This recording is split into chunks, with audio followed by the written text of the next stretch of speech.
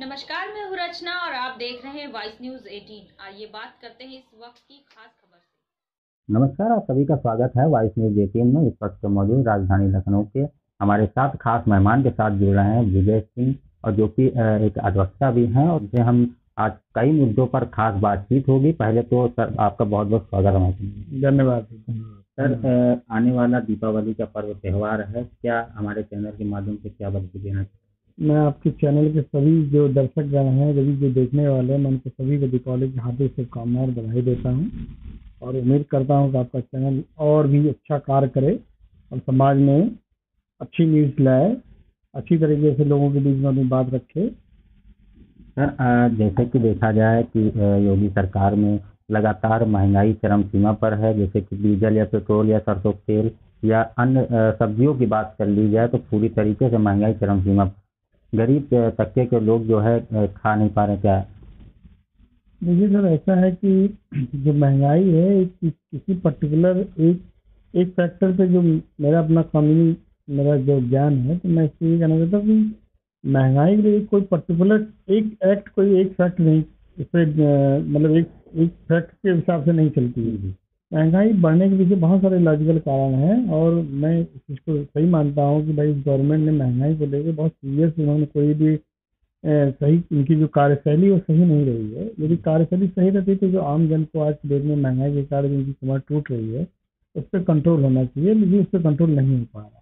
कहीं न कहीं इसमें सरकार की विफलता मानी जा सकती है। और सरकार इसको बहुत सीरियस सोचना चाहिए कि आखिर आम जो जनमानस है असंगठित क्षेत्र का हमारा मजदूर भाई है जिसके पास कोई ऐसा सरकारी जॉब नहीं है या कोई बहुत अच्छी मल्टीनेशनल कंपनी में काम नहीं कर रहा है उसकी जीविका कैसे चलेगी किस तरह से जिए खाएगा इस पर सरकार को गंभीरता से विचार करना चाहिए। जैसे कि आज तेल एक रुपये लीटर फिर बढ़ गया एक सौ पाँच रुपये छः पैसा हो गया लीटर तेल महँगाई करता होगा हाँ सर तेल महँगा होने से सर ऐसा है हर चीज़ पे इसका इफ़ेक्ट पड़ेगा। चाहे सब्ज़ी हो, चाहे किचन का बजट किसी महिला का हो, चाहे टूर एंड ट्रेवलिंग का बिज़नेस हो, चाहे कोई भी मतलब विभाग हो, हर जगह उसका असर पड़ रहा और गवर्नमेंट को इसको सोचना चाहिए कि भाई क्यों इतना तेल इसमें से आप सिर्फ़ ये कह दें कि क्या नाम साहब अंतर्राष्ट्रीय के हिसाब से तेल का दाम बढ़ रहा है तो ये उचित नहीं है। इससे सही से गवर्नमेंट को गंभीरता से विचार करना चाहिए क्योंकि तेल के दाम ज़्यादा होने से हर चीज़ पर फ़र्क पड़ अच्छा आने वाली 2022 चुनाव में जैसा लगा कि जनता भी आपकी कुछ कटेगी बीजेपी से सर मैं तो वकील आदमी तो मैं तो इस बारे में कुछ नहीं बता सकता हूँ कि क्या जनता जनार्दन किधर का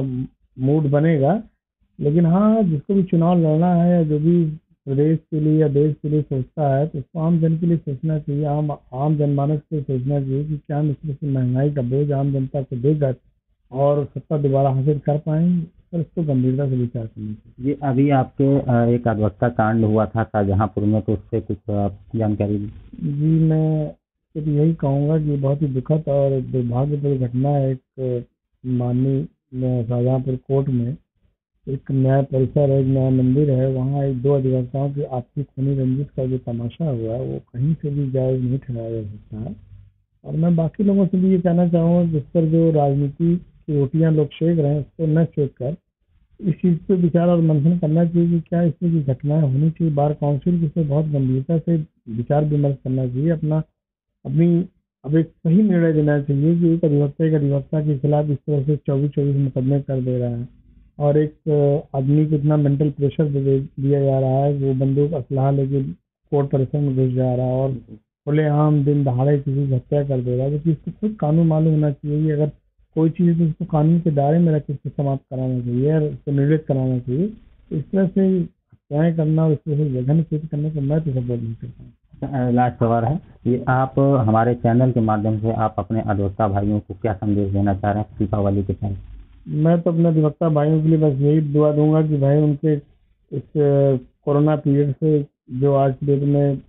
हमारा अधिवक्ता भाई अधिवक्ता समाज पूरी तरह से विक्षिप्त हो गया बहुत ही दिक्कत परेशानी से गुजर रहा है, इस पर हमारी जो बार काउंसिल हैं, जो हमारे लोकल बार्स हैं, वो गंभीरता से विचार करें। और मैं चाहूँगा कि मैं तो ईश्वर से प्रार्थना करूँगा, हमारे सभी अधिवक्ता भाइयों के दीपावली बहुत ही खुशनुमा बीते अच्छे से अपनी दीपावली मनाएँ, और ईश्वर करे कि उन्हें बहुत ही अच्छा काम धाम मिले और इनकी लाइफ अच्छे से कटे। तो ये हमारे साथ में मौजूद थे, विजय सिंह ने, जो काफ़ी कुछ बातें हुई। फिर मिलेंगे अगले सत्र शुभम गुप्ता लखनऊ।